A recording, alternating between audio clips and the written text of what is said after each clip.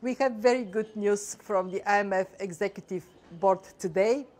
A decision on a financing plan to mobilize resources for the fund's share of debt relief for Somalia. This is a global effort, mobilizing countries rich and poor, big and small, to achieve a very important objective, clearing the debt of a country that for the last 30 years has experienced the tragedy of war and destruction.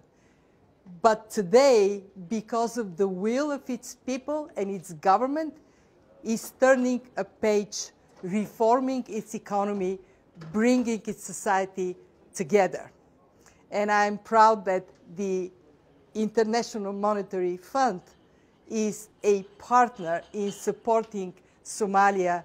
Very grateful to all our shareholders for their generosity to clear the obstacles for Somalia to move forward.